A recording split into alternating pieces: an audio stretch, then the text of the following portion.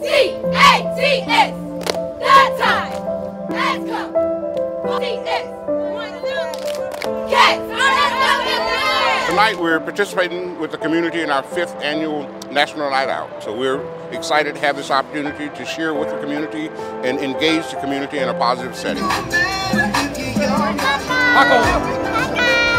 Oh, they love Paco. They're all over Paco, and Paco lets them pet them. He's just the main attraction here. These kids just all over him. They want to just take pictures.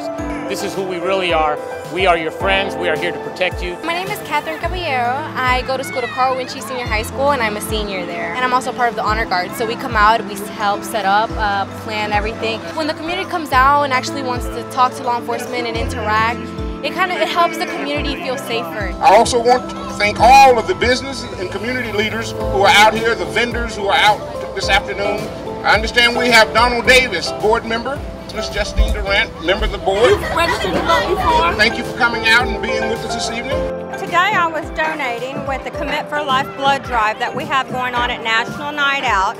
I find it very important to donate blood because it's all about helping others. So the opportunity was here, I took advantage of it, and I donated my blood today.